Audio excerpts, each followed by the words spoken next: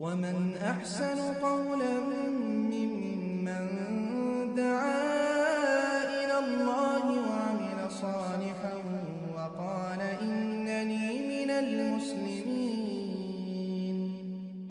আসসালামু আলাইকুম রহমতুল্লাহি বরাকাত বিসমিল্লা ওসালাত ওয়াসালামু আলা রসুলিল্লাহ একজন জানতে চেয়েছিলেন কুরবানি কখন কখন ফরজ হয় সে বিষয়ে যদিও কুরবানি বিষয় ছিল আহ, কুরবানি পার হয়ে গেল উপলক্ষ আগে বলা উচিত ছিল। আসলে কয়দিন থেকে বেশ ব্যস্ততার কারণে উত্তরগুলি দেওয়া হয়নি। তো যাই হোক, জানা থাকবে, পরবর্তীতে কাজে লাগবে ইনশাআল্লাহ সবার জন্যই। কুরবানি যে, সাধারণ যে কুরবানি, আমরা যে দেশে বা বাইরে যে কুরবানি যে বিষয়টি, সেটা সাধারণত আলিমগুলির মধ্যে দুই ধরনের মত পাওয়া যায়। একজন বলে এক পক্ষ বলেছেন যে ওয়াজিব আর এক পক্ষ বলেছে সুন্না মোয়াক্কাদা তবে জমহুর বিধান যেটা বলেছেন সুন্না মোয়াক্কাদা সেটাই শক্তিশালী, গ্রহণযোগ্য বেশি মনে হয়। আল্লাহ ভালো জানে, এটা হলো সাধারণ কুরবানির যে বিধান। যারা সামর্থ্যবান ব্যক্তি, সামর্থ্য রাখে তাদের উপরে কুরবানি করাটা সুন্নাতে মোয়াক্কাদা তারা কুরবানি করবেন, গুরুত্ব রয়েছে। রাসুল সাল্লাহ সাল্লাম বলেছেন, মান ক্যান আলাহ সাআতুন ওলাম ইউদাহি ফালা ইয়াকুরবান্না মুসাল্লানা।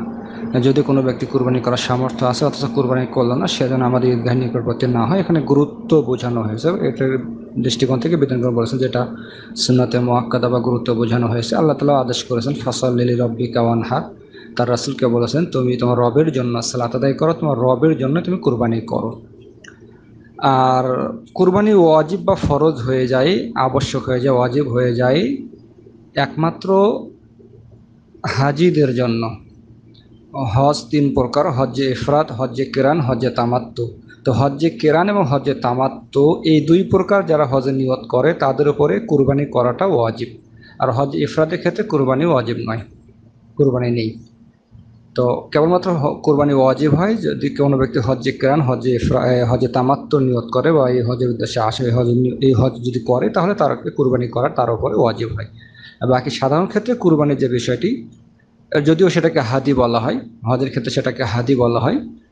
আর সাধারণভাবে যে কুরবানি, সেটার বিধান হলো সুন্না মোয়াক্কাদা এবং হানাফি মাঝহাব মতে তারা সেটাকে ওয়াজিব বলেছেন।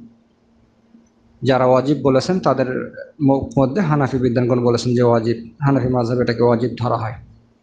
তবে জমহুর বিদ্যানের মধ্যে সুন্না মোয়াক্কাদ এটাই শক্তিশালী মনে হয়। এটাই আমরা বলে থাকি, বিশ্বমান আলমগুলো এটাই ফতোয়া দিয়েছেন, এটাই আমরাও বলে থাকি। আল্লাহ ভালো জানেন আসসালামু আলাইকুম রহমতুল্লাহি ওবরাকাতুহ